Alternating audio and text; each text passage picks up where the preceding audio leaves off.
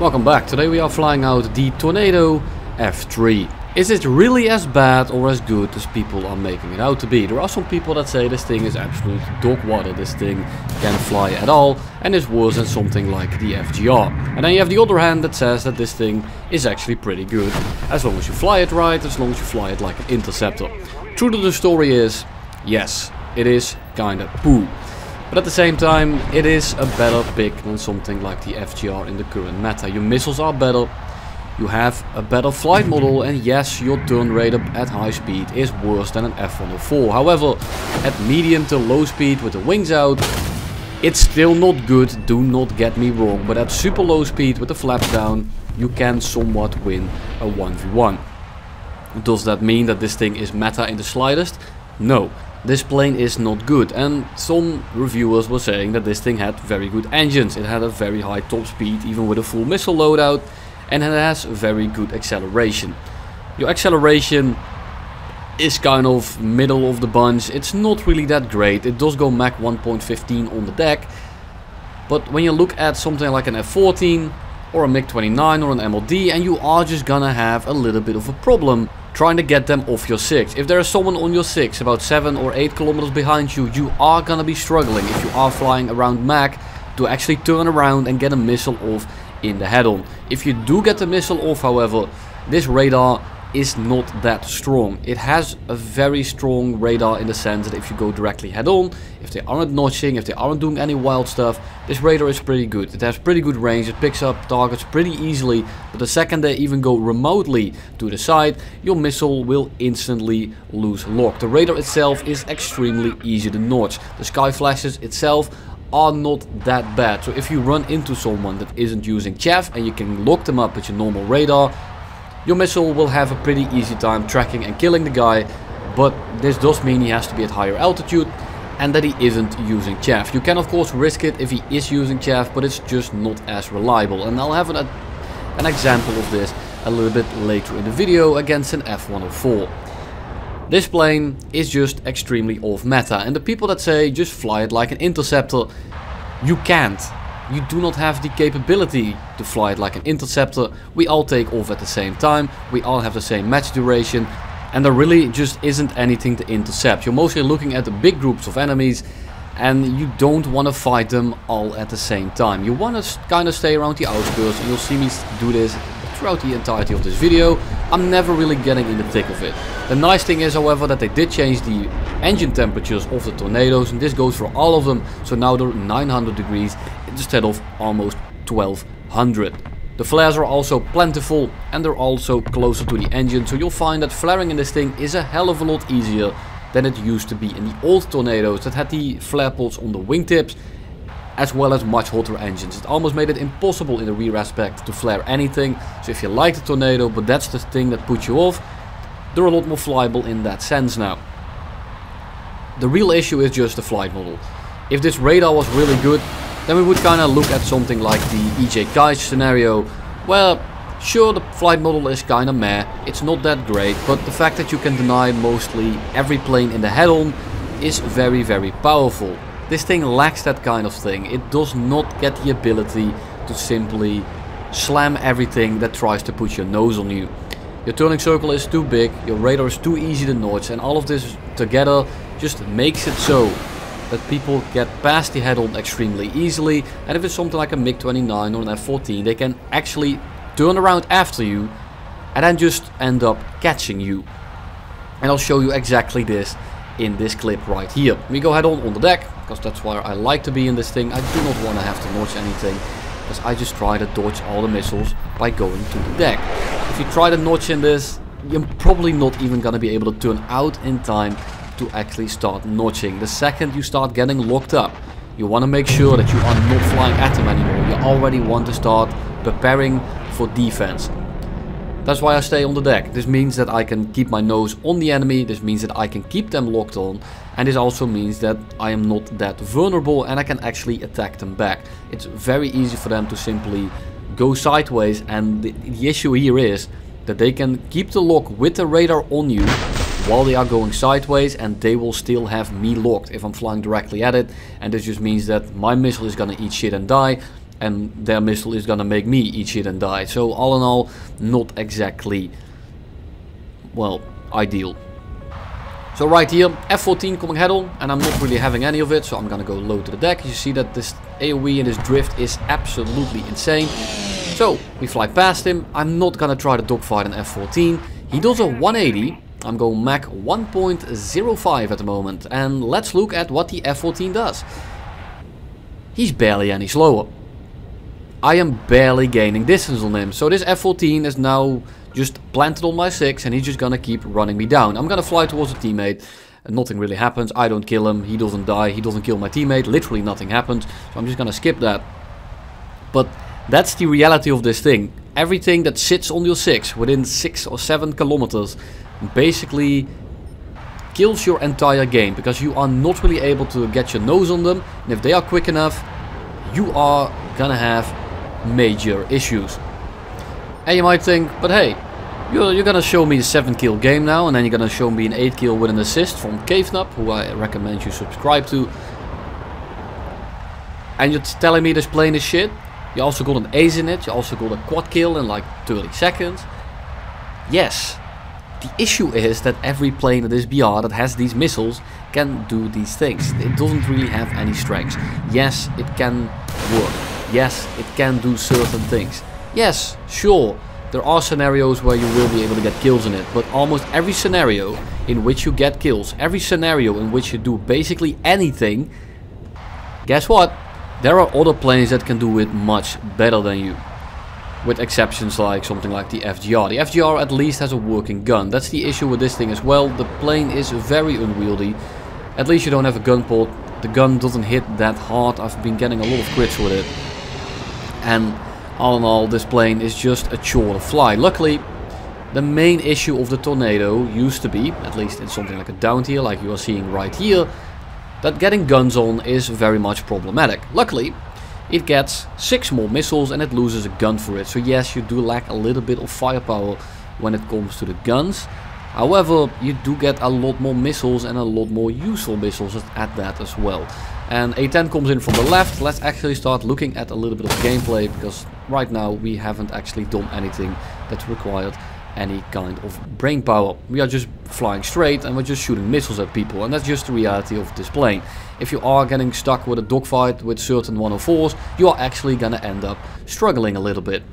Now it is a 10.3 game and I know that the enemy basically doesn't have anything with a pulse Doppler radar, so now I'm not really too worried about staying at a little bit of an altitude. F5 comes in, switch over to the Sky Flash, shoot Sky Flash off, he is not low enough and even if he has Chaff it doesn't matter, he eats the missile and we go on towards the next one.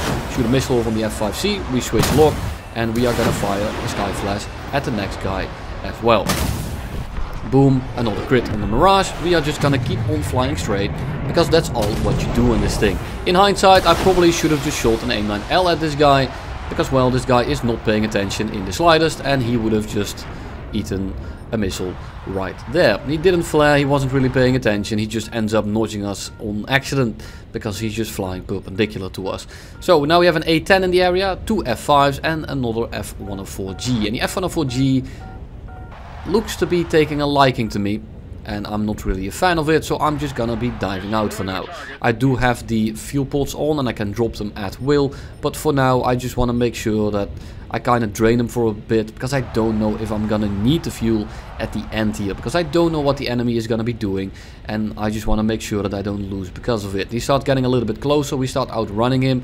Yes, I can run from this guy. The thing is, it's an F-104.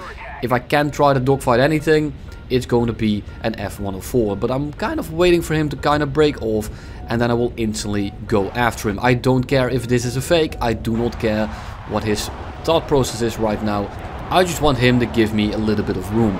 The sad reality is that I'm gonna try to pull in here. He instantly goes into a bit of a notch or like a sideways thingy here. He's not really notching me, but he's just denying me the launch. And because the missiles kind of suck when you're shooting them from behind, well, this right here is why A9Ls are not as great as they once were. He's using his afterburner, he is flaring, but he's very close to us and he's flying straight away from us. And this means that normally, at least in the previous patch, those missiles would have very easily connected. Right now I'm not really too worried about my missile amount because this guy is locked in a fight and I just want him to stay here. So I'm just going to be shooting my missiles off. I'm not really too worried about it because we are going to be basically RTB after we kill this guy.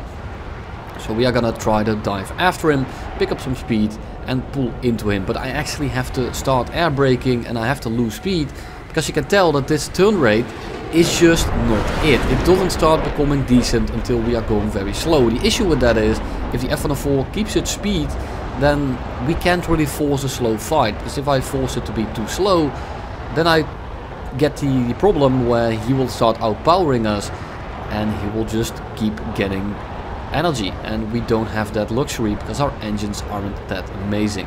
So I'm gonna actually kind of preemptively lead his turn, I'm gonna go up and over and I'm gonna try to slot in directly behind him. And we get position, he starts flying away. And now I just want to make sure that I keep him here now that he's still somewhat close. Because he's flying towards the airfield and I'm expecting him to do exactly what I think he is.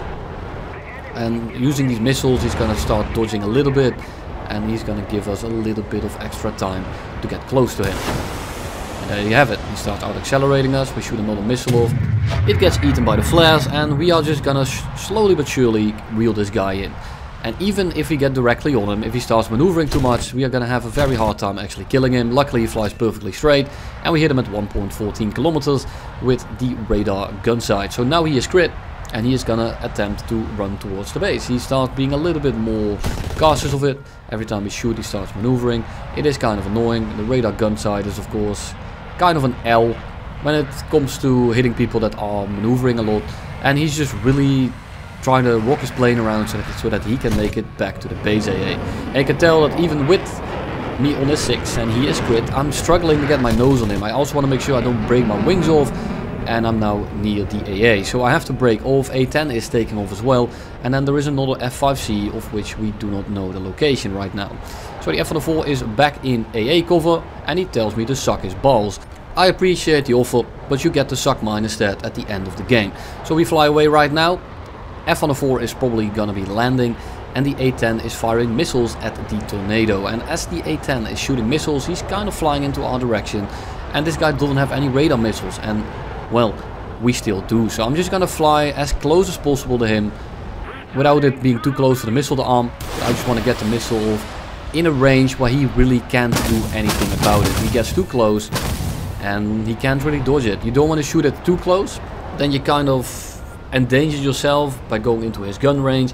His AIM-9L's and head-on are probably not going to be tracking, but you want to just give the missile a little bit of time to pick up some speed, just so that it's a little bit more maneuverable and it can actually guide in properly. Now sure, that's an A-10, it's probably going to hit anyway, but I just wanted to deny him the ability to notch my missile, because if I shoot it from very far away, it's very easy for him to simply turn around, notch the missile or dive to the ground.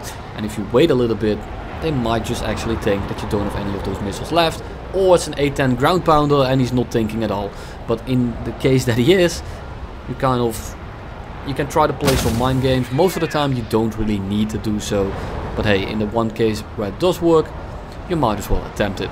And this is exactly what I meant earlier. The F-104 was not running chaff. We saw this earlier and we just switched to the normal radar mode because now he can't really notch us and he is in clear airspace, he's flying directly at us. We wait till about 10 kilometers and because he's flying straight, it's flying into the missile. So the missile doesn't actually need to travel 10 kilometers. Sure, it's going directly vertical, so it's going to lose a lot of energy. And look who it is. It's the guy that told us to suck his balls. Unfortunately for him, his balls stay dirty and mine get cleaned instead. F on the 4 down, and that's going to be kill number 6. And now the salt begins. If you want to shit talk, well, you might actually end up winning the game. And this might sound a little bit ironic, coming in uh, in a few minutes here, but we will see. Look at him, he is modding in the chat. Honestly, quite incredible. So, I tell him the cope, he is dead and he is probably going to be losing the game. At this point, I am pretty confident that this F5C is going to die to us, because all he has been doing is bombing. He's probably not going to actually even try to attempt to attack us. So I'm just going to loop over, and this is the guy that earlier kind of ignored our missiles. The, the guy that I should have shot an aim 9L at. And I'm going to just park myself on a 6. So I'm gonna actually start shit talking a little bit here.